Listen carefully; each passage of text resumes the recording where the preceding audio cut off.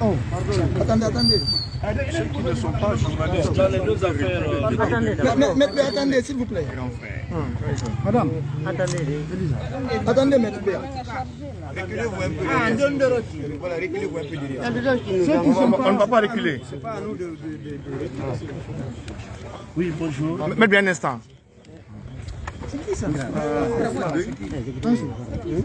On y va. C'est qui ça? Sois grand, rappelle-moi, je suis en interview. Rappelle-moi dans 10 minutes. Qu'est-ce que c'est lui à mon téléphone là? Voilà. Effectivement, le tribunal a rendu sa décision dans les deux affaires. Le premier qui concerne euh, le président contre l'agent de l'État. Allah. Euh, dans ce premier dossier, euh, le tribunal a,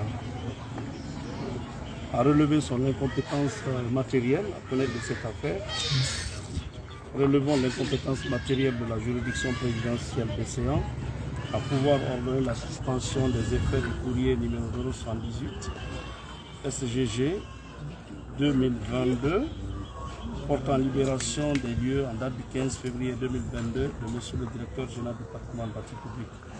Envoyons M. Dalai Diallo à mieux se pourvoir. Disons que notre ordonnance exécutoire euh, au vu de la. Ça, c'est le dossier qui concerne euh, le président Dalai Diallo. En ce qui concerne M. Sidi Touré, euh, le juge des référés également a décidé, nous nous déclarons incompétents à ordonner les sourcils à l'exécution du courrier numéro 087 du 16 février 2022 de la direction du patrimoine public. Notons les, les frais de dépens à l'achat des demandeurs.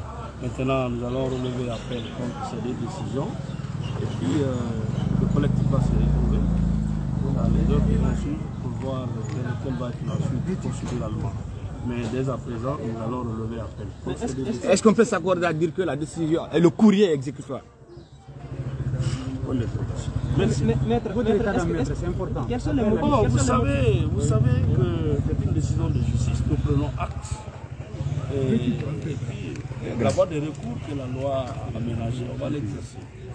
Voilà, c'est ça. Mais, mais quels sont les motifs que la juge a été Non, on ne peut pas se exposer, déclarer. on ne peut pas exposer tout ça ici, on l'avait déjà dit la semaine, à fin de semaine. Euh, la partie adverse a dit que cette demande-là doit être portée devant la Cour suprême, dans sa chambre administrative. Nous avons dit le contraire en s'appuyant sur l'article 850. Nous avons dit que c'est le, le juge de référé de première instance qui est compétent.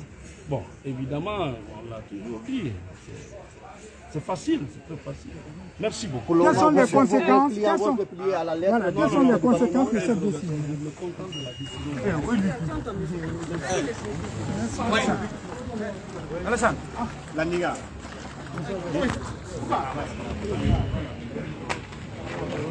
Sidi Koumbara.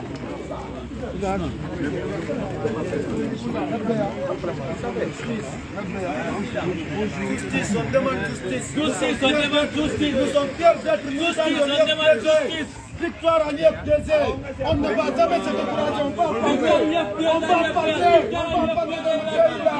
Vive la chef d'Alain Diallo. Vive la chef d'Alain Diallo. Le combat continue. Le colonel Mamani Doumbouya ne peut pas nous intimider. Nous allons continuer ce combat.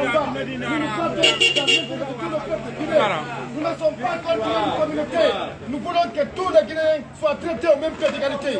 Nous condamnons avec la dernière énergie et le chef de l'acte, nous restons mobilisés pour continuer le combat. Je vous remercie. Et on veut savoir sur quelle base il s'est basé pour retourner On les- ne va jamais se décourager. Le colonel Mamadi Doumbouya n'a qu'à mettre la tête. On ne va jamais se décourager. La lutte continue. La lutte continue. Continue. Jamais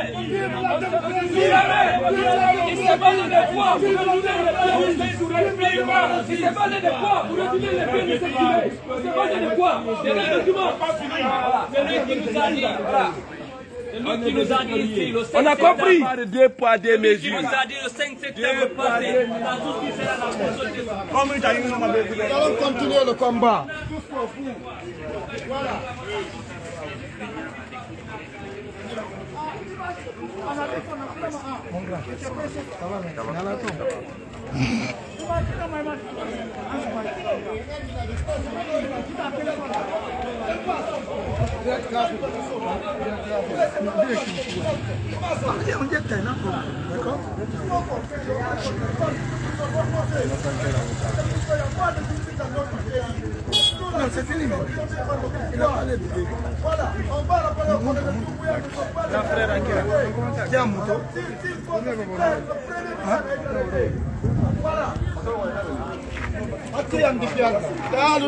parler.